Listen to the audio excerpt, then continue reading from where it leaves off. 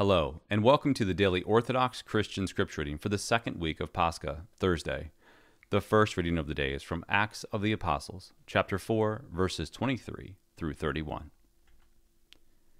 In those days, when the apostles were released, they went to their friends and reported what the chief priests and the elders had said to them. And when they heard it, they lifted their voices together to God and said, Sovereign Lord, who didst make the heaven and the earth and the sea and everything in them, who by the mouth of our father David, thy servant, didst say by thy Holy Spirit, Why did the Gentiles rage and the peoples imagine vain things?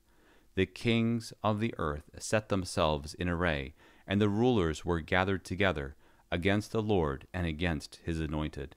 For truly in this city there were gathered together against thy holy servant Jesus, whom thou didst anoint, both Herod and Pontius Pilate, with the Gentiles and the peoples of Israel, to do whatever thy hand and thy plan had predestined to take place.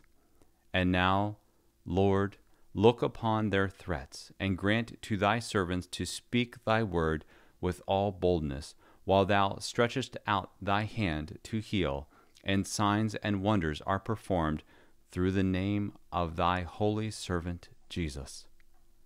And when they had prayed, the place in which they were gathered together was shaken, and they were all filled with the Holy Spirit, and spoke the word of God with boldness. And today's gospel reading is from John chapter 5, verses 24 through 30.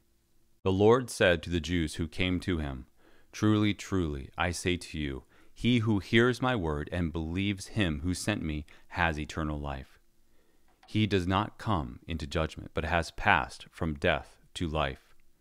Truly, truly, I say to you, the hour is coming and now is when the dead will hear the voice of the Son of God, and those who hear will live. For as the Father has life in himself, so he has granted the Son also to have life in himself, and has given him authority to execute judgment because he is the Son of Man. Do not marvel at this, for the hour is coming when all who are in the tombs will hear his voice and come forth, those who have done good to the resurrection of life, and those who have done evil to the resurrection of judgment.